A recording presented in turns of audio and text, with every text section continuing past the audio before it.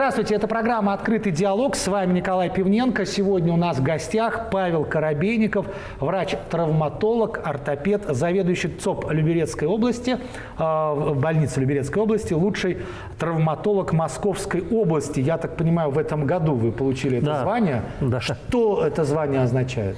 Это победитель конкурса среди травматологов. Мы предоставляли работу своей специальности, своей деятельности.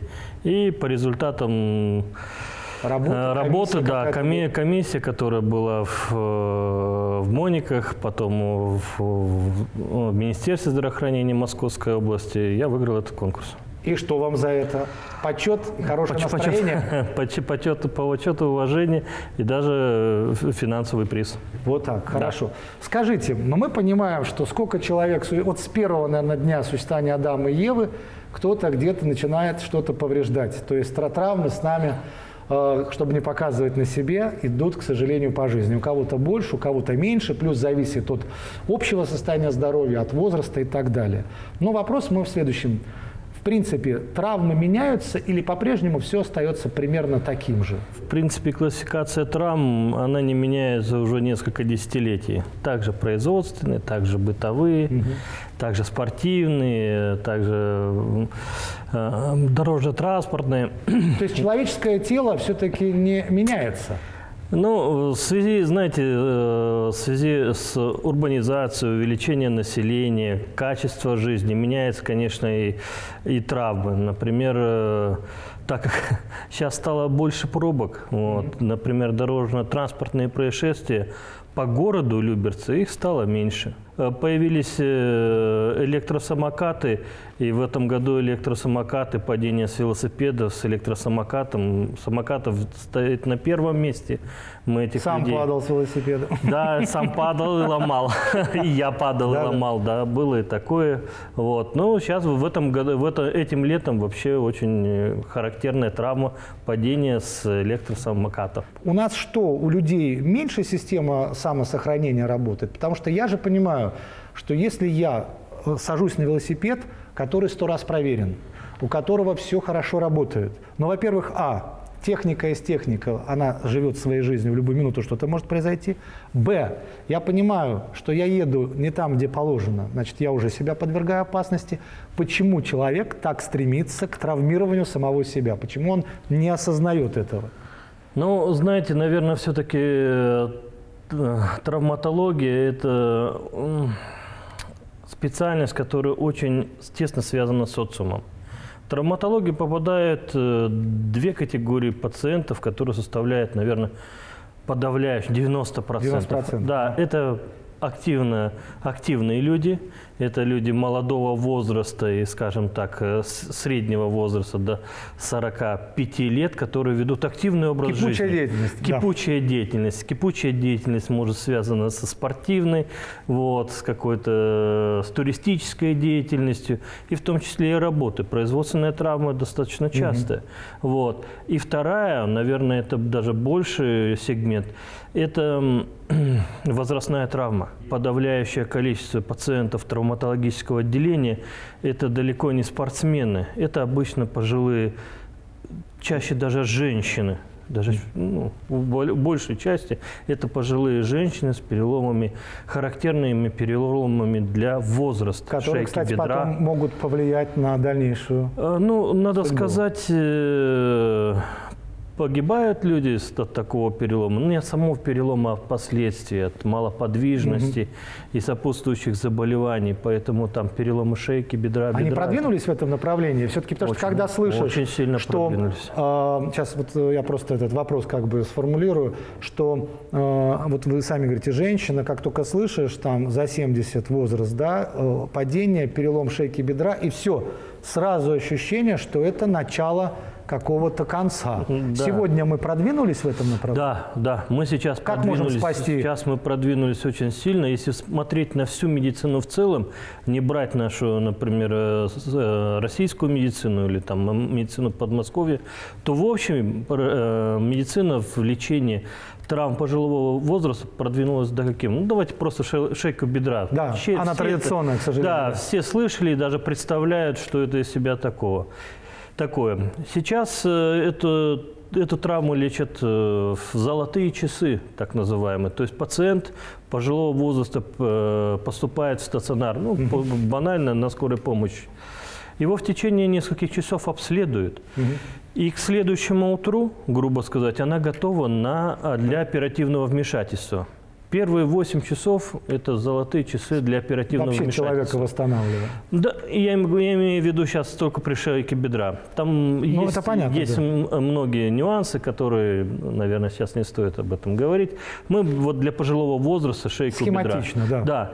И к следующему, к следующему утру она уже готова на операцию. Необходимые импланты уже есть mm и уже делают в зависимости от показаний либо э, пластину ставят, mm -hmm. либо эндопротезирование этого шейки. И уже через три дня ее ставят на ноги, mm -hmm. а уже через семь дней ее могут выписать домой. И выписывают в, в Москве. Так э, mm -hmm. некоторые больницы действуют и лечат. А если нет?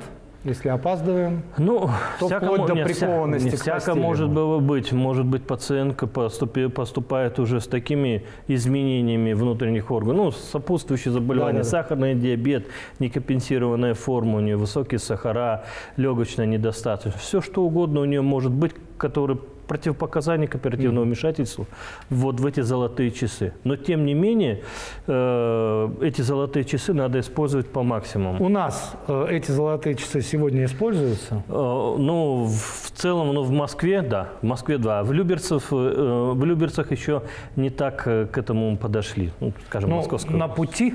Да, да, это, это обдумывается и, скажем так, внедряется. Это дорогостоящая какая-то аппаратура, э, здесь, подход какой-то? Да, здесь определенная вещь должна быть э, соблюдена, преемственность определенных решений. То есть это пациент доставлен в стационар, угу. этот пациент должен быть всеобъемлюще осмотрен всеми специалистами, все сделать, э, провести все анализы для оперативной... по схеме должно да, быть. по схеме должно быть. Это должно быть необходимые импланты, быть, к сожалению, они дорогостоящие. Вот. вот, кстати, давайте сразу поговорим. Ну, я почему этот вопрос, потому что, к сожалению, уже в том возрасте, где вот тоже вот слышишь у друзей, у кого-то это происходит, и называются какие-то страшные суммы, причем, э, опять же, в зависимости еще от тех, э, скажем, э, медикаментов, или как это назвать, весь комплекс, что входит в это лечение, а, где-то там шинами обходится, если это так не, не сам, еще не перелом и так далее.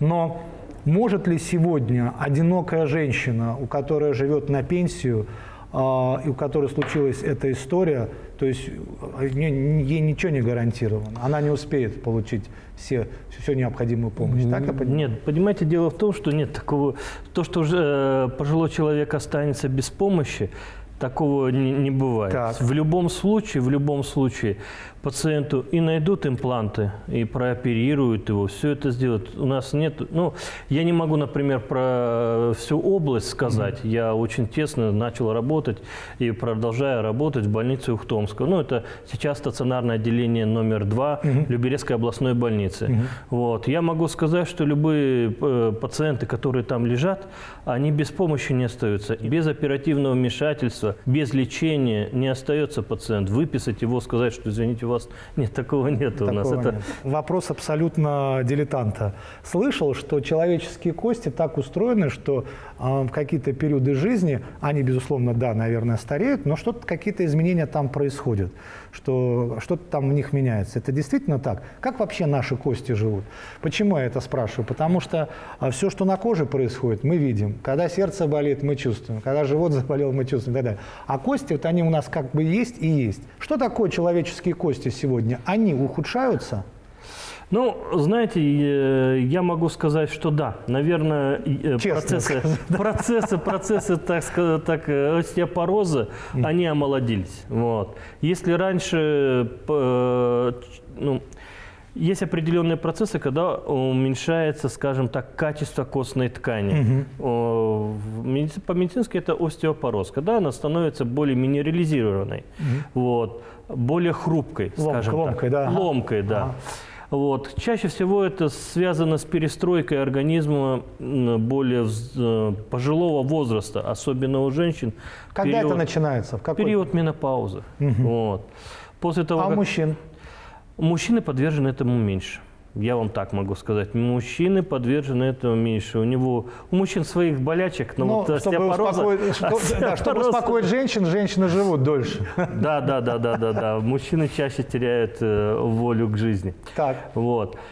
И э, период остеопороза развивается в, пожил, в пожилом возрасте, но связано это не только уменьшением, скажем так, гормонального уровня, mm-hmm. связано это и с нагрузками. Уменьшение осевых нагрузок, уменьшение пороговых нагрузок тоже ведет к остеопорозу. Но мы неправильно есть, ходим же с самого Да знаете, да, здесь, здесь, наверное, неправильно ходим, а мало, мало двигаемся, наверное, так. Количество людей с нарушением осанки, оно просто катастрофически. Все. Просто катастрофически. Все. Особенно в, школ, в школах, когда мы делали профосмотр, то есть 60-70% э, молодых людей, школьников, это проблема со, с осанками. И сейчас э, люди э, вот, 90-х годов, 90-х mm-hmm. годов рождения, это большая проблема в будущем. Вот сейчас еще пройдет лет 15-20, но они станут уже за э, 35-40 лет, и вот тогда будет, конечно, Слушайте, но мы тоже, большая. я помню, переживали, все ходили, вот все скрученные, э, нас ну, учили. Сейчас проблема в этом большая. Профилактории не, нету, mm-hmm. занима, не, никто не занимается. То есть люди не в курсе, этими. что нужно ходить прямо?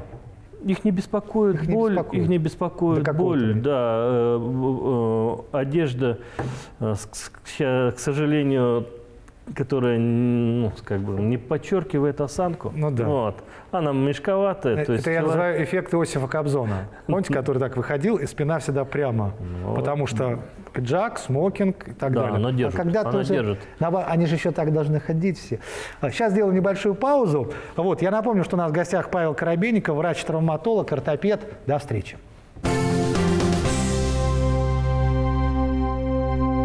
У нас в гостях Павел Коробейников. Это программа «Открытый диалог». Врач-травматолог, ортопед, лучший травматолог Московской области, с которым мы говорим очень откровенно и узнаем много интересного. Хотя многое мы и так знаем, что нужно правильно сидеть, нужно правильно ходить. И вот тут возникает вопрос, отталкиваясь от финала первой части нашей программы.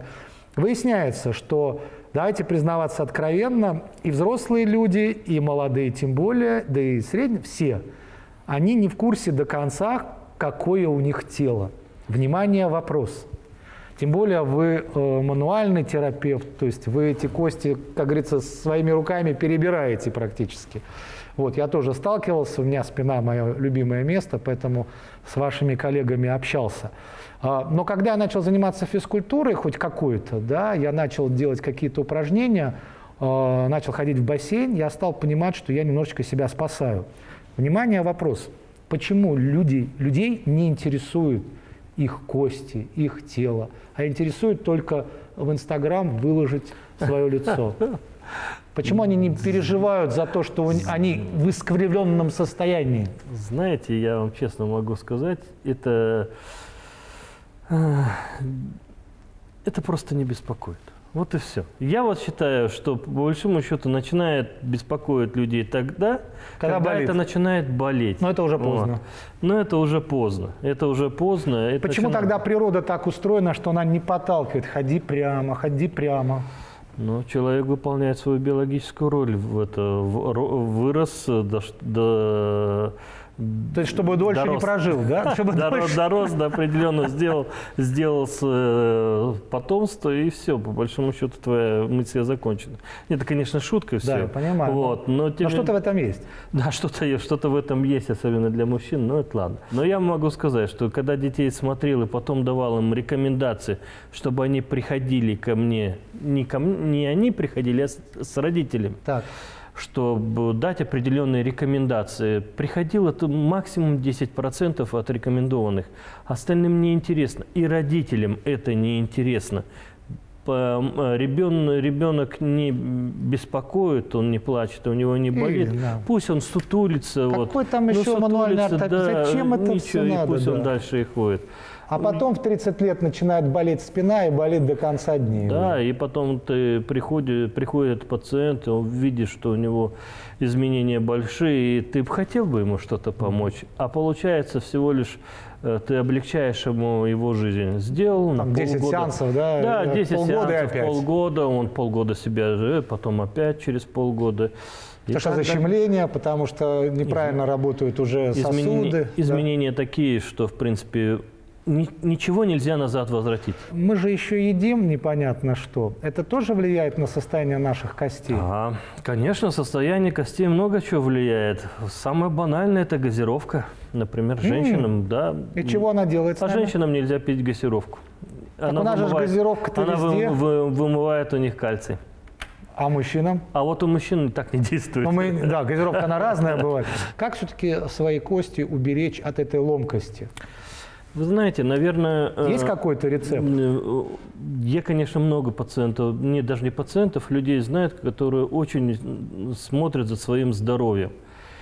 И так э, наблюдать за своим здоровьем, чтобы, например, каждые там три месяца корректировать свое питание, исходя из своего анализа крови, там микроэлементов в крови, это не каждый может, Ну наверное, один процент.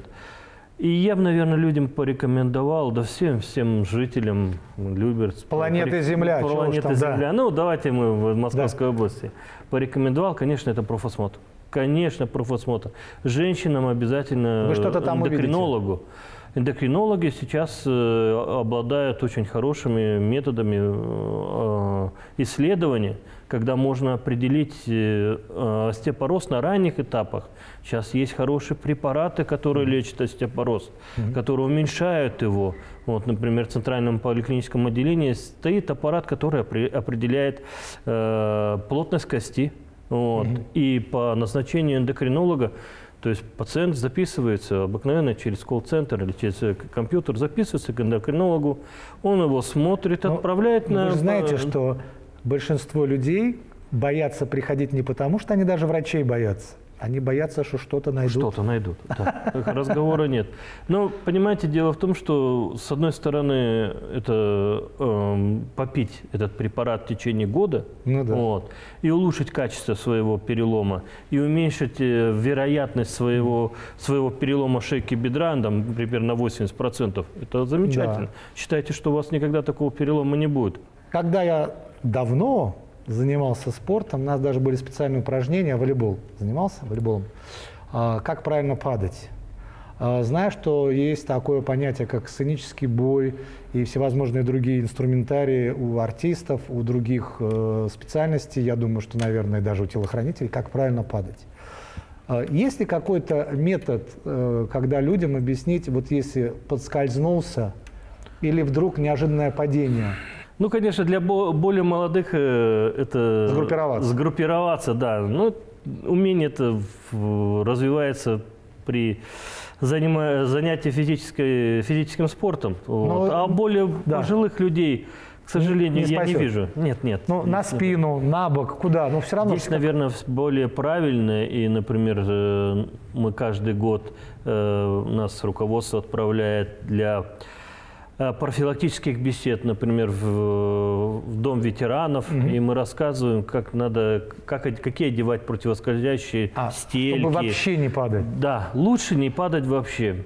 Э, То есть лучше э, не выйти из дома или одеть стельки, или пользоваться накладками на трость, пользоваться э, перилами, как ходить правильнее. Да, вот это вот пра- правильно, То есть чем не, не- падать. как конечно. это, не, Лучше- а, не, не радовать себя окружающих, в кавычках радовать, что я такой смелый, Да. я, несмотря на что, хожу сам. Лучше посыпать это песочком. Песочком. Скажите, пожалуйста, с точки зрения лучшего травматолога Московской области, За 2020 год. за 2020 Это года- А это навсегда уже, не все равно. Но потом будет лучше 2020 года, все равно. Можно ли сегодня после тяжелого перелома, вы сами скажете, какой-то так восстановить руку или ногу, что человек забудет об этом? Или это все равно все-таки навсегда?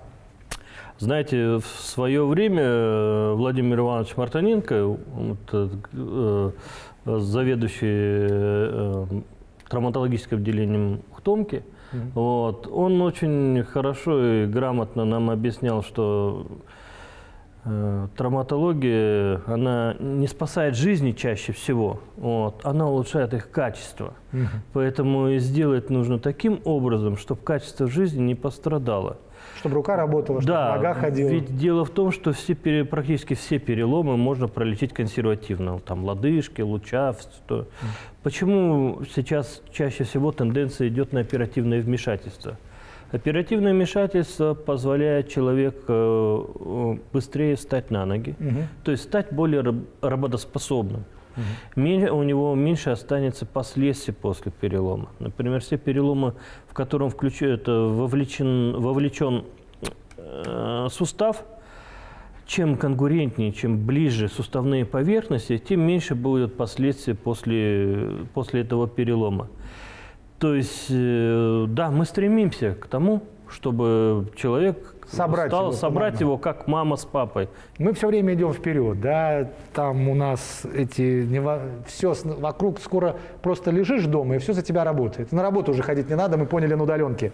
Человек становится менее движительным, есть такое сейчас слово. А, может быть, что-то изменяется в медицине, можно одну руку выкрутить, другую вкрутить. Ну, Это я так, шутя. Я вам говорю. так могу сказать, что э, когда я пришел работать в больницу Ухтомского, Мгм. стационарное отделение номер два, у нас были один, э, один подход, и э, определенные были пластины, определенная тактика лечения, хирургическая техника. За последние 20 лет хирургическая техника именно в травматологии шагнула настолько далеко, что, например, тоже перелом бедра, когда мы делали пластины, накостные пластины, Мгм. то эта, эта пластина стояла там два с половиной месяца, и нельзя было на эту ногу наступать. То есть человек ходил это, на, на костылях. Сейчас ставят вну- внутрь, внутрь кости специальный штифт, вот, который планомерно разгружает по оси конечности всю нагрузку. И человек после операции становится э, на эту ногу буквально на следующий день. За счет электронного преобразователя рентгеновского облучения этот штифт э, ставят в кость через разрез 2 сантиметра. Не раскрывают э, место перелома, не репонируют открыто. Это все делается закрыто под рентгеновским То облучением. Мы потихоньку терминаторами становимся. Да, да, да, да, да. Ну, э, если... Но это по- пока еще это по необходимости. Да, есть даже рекламные такие буклеты, где человек, у него каждый, каждая кость, у него остеосинтез проведен. Но мы же с вами понимаем, что на кости настолько уникальны и прекрасны, что ни один терминатор с ними не сравнится. Внутренний мир, наверное, его уникален. Вот. Э, Хорошо, что его организм все-таки имеет определенные нормы Мгм. и определенные, так скажем, вещи, которые незыблемы. Ясно одно, что завершая программу, мы, конечно же, хотим пожелать всем знать и помнить одно, что а, наши руки, ноги, они с нами, это наши кости. Мы их не видим, надо их ощущать, надо любить себя. Вот тут можно так сказать, чтобы у вас было меньше работы. Ну, в- будьте осторожны, все-таки Будьте будьте осторожны. осторожны. И э, действительно, если не лень, есть интернет. Там, конечно же, не в плане, ни в коем случае, медицинских лекарственных препаратов, а в плане всяких упражнений, мне кажется, можно найти какие-то вещи, которые помогут кости хоть как-то поддерживать вот наш скелет да, в каком-то нормальном состоянии. Правильно я говорю? Да, но я вот, наверное, хотел бы все-таки под, под конец сказать, что э, развитие именно э, травматологической службы в нашем районе поставлено на хорошую, э, этот, э, на хороший уровень. То есть у нас имеются все э, уровни, где пациент может э, обратиться к, э, к врачу. Сейчас имеется такая система, где пациент может обратиться не только к врачу в поликлинику своему по месту жительства, вот, но к другому э, это врачу, который в Люберецком районе, в том числе и ко мне. Боюсь, если- после нашей программы пойдут к Вот. вам. Да, всегда, всегда открыт, всегда открыт. Том числе и районные специалисты у нас присутствуют в виде заведующего отделения стационарного, Ну, прекрасно. от- стационарного отделения номер один. Вот. И также мы имеем возможность направлять дальше и в, э, в институт Мавлек, э, ну, в Монике, вернее. Но хочется, Вот. чтобы к вам люди приходили с профилактическими целями, а не после каких-то неудач. Знаете, я, наверное, лет с 19 за это выпиваю тост каждый день медика. Но... Каждый день медика. Каждый день медика. Ну что ж, мы э, делаем вывод, что э, на сегодняшний день в городском округе Люберцы стремятся к тому, чтобы все новые технологии, связанные с травматологией, попытаться внедрить в жизнь. Работа идет, что никто не работает уже, как говорится, старинными методами. И это- за это вам большое спасибо. Это был Павел Коробейников, врач-травматолог, ортопед, заведующий центральным поликлиническим отделением э, Люберецкой больницы, правильно? Э, Лучший травматолог Московской области. Будьте здоровы. Всего доброго. С вами был Николай Пименко, программа «Открытый диалог». До свидания.